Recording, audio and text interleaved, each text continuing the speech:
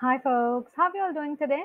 Today, we're going to discuss about um, the difference between error and bug. So that's the usual question, right? Anyone uh, actually gets.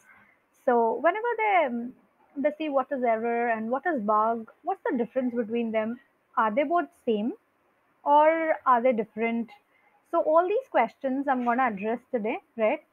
So what is error?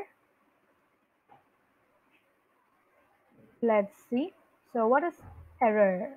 So when you um, hear error, what is that? So when I say bug, what's it? Okay. So let's understand everything. Okay. So it's gonna be pretty simple, right? Error and bug both are like uh, semantic errors and syntactic errors. Okay. So something like that, right? So when I say semantic error, that becomes a bug. Okay. When you say um, syntactic error that means error okay? Syntactically if you're creating uh, i mean if you're missing something or if you're not showing something right? So then you're gonna get syntactic errors right? And uh, if you're creating any error if you're making any error in a logic right? In the logic of the program. Basically those kind of things are not shown as error right? So your output will not be the correct one yeah so the output will be unexpected but but there is some output which is given. Okay so such kind of things are called as bugs. So let me just tell you um, i'll quickly write this. So error is a syntactic thing right? Syntactic error. Error is otherwise called as syntactic error you can say okay? So yeah error is otherwise called as syntactic error okay Oh, and bug. Bug is something like a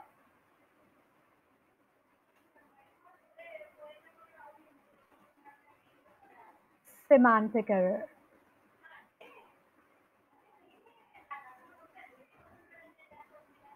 Okay, so bug is something like a semantic error. Okay, so when I say this syntactic error and semantic error, most of you all uh, might not understand this, right?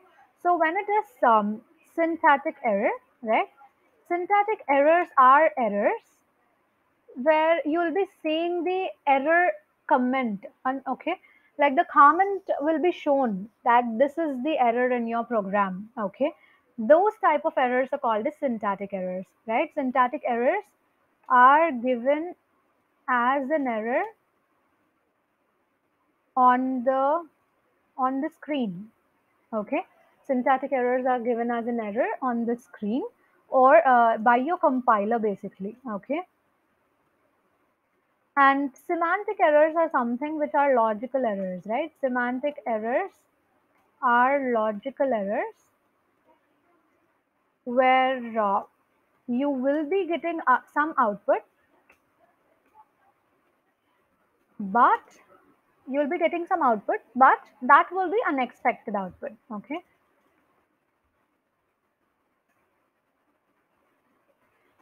right? So I, I hope you might have got some uh, clarity on this right? When you see example then definitely you're gonna get some clarity right? So let's suppose i'm just creating uh, array 1 okay? We already knows and we have uh, discussed about arrays already in our previous sessions. If you've not been watching my series yet please do go back to my channel and do watch them right? So you'll understand that okay?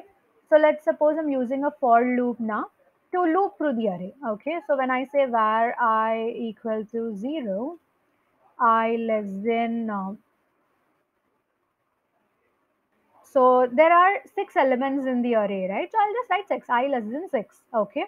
And i plus plus i will write, okay? So let's check. Now I'll just say console dot log, console dot log uh, let's write i. Let's display i value. Okay. So now let's see what exactly will happen on the screen, right? And let me just run this quickly. So I'm just running this. Like you can see, I'll just, um, so 0, 1, 2, 3, 4, 5, right? So it's just printing the, okay, if I just print the array, right? Then you will get to know. I have to index it So let's see the this thing. You can see here, oops, we can't figure out what ARR is. Oh, wait, sorry. So we ARR 1, right? Let's reset and run it again. Oh, wow. One, two, three, four, five, six are given as the output, right? So index starts from 0. Okay, so this is the zeroth element, first, second, third, fourth, fifth. Okay, so we wrote i less than 6.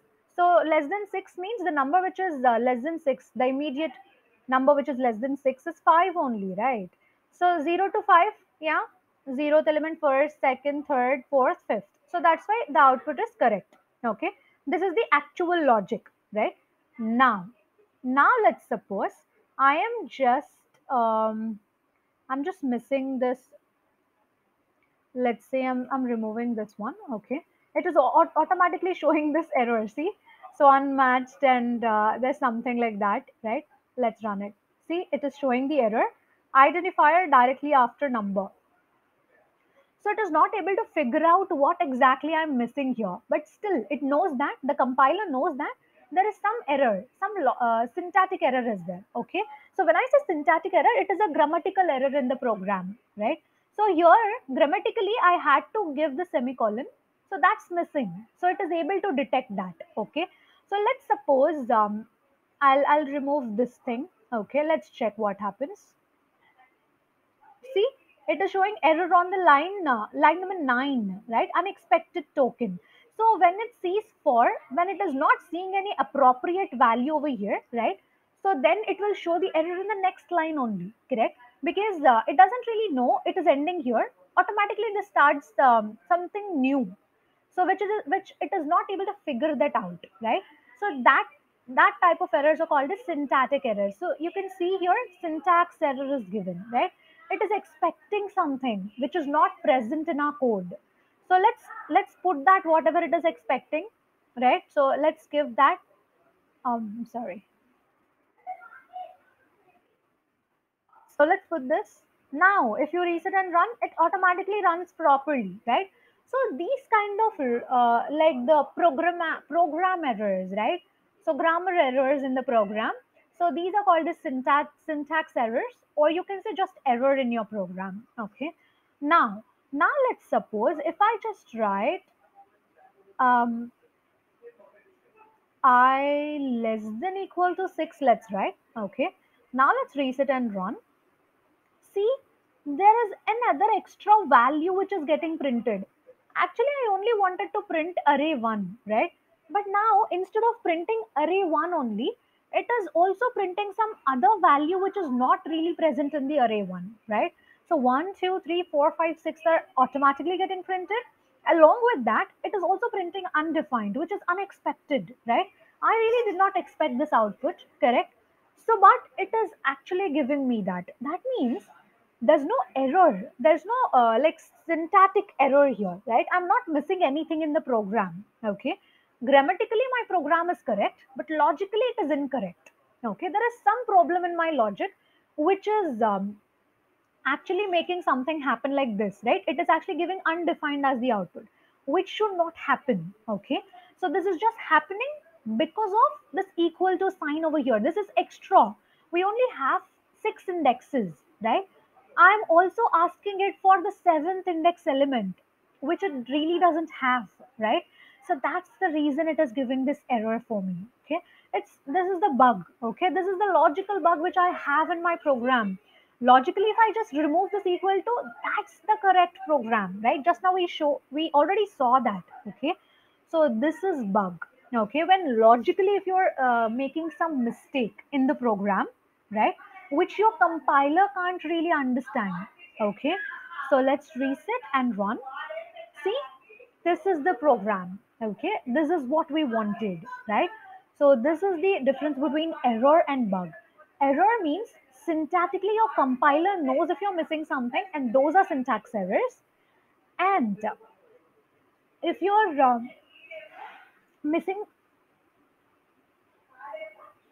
so logically if you're missing something that will become the syntax errors okay? And if you're not logically sorry uh, if you are missing something in the program those are errors okay? Syntax errors or errors right? Logically if you're miss- missing something that becomes a bug okay? Or you can say semantic errors right? So these are the things which i wanted to tell you guys right? I hope you understood this session and this was informative okay? Thank you so much for watching this video and bye bye guys. Please do like comment share and subscribe to my channel Folx Hub